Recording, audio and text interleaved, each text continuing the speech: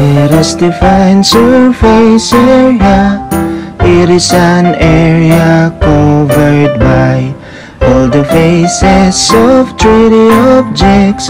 Cubes, prisms, pyramids, cylinders, cones and spheres are all examples of 3D objects. Kids, let's learn.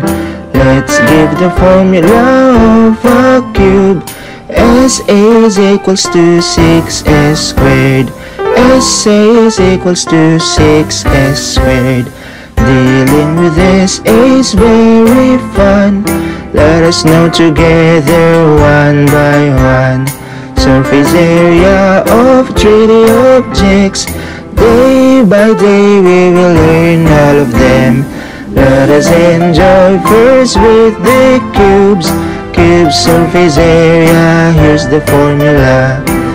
SA is equals to 6S squared. SA is equals to 6S squared.